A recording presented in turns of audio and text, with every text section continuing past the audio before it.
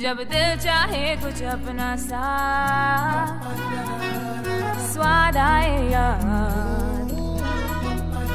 तो दिल की मानो।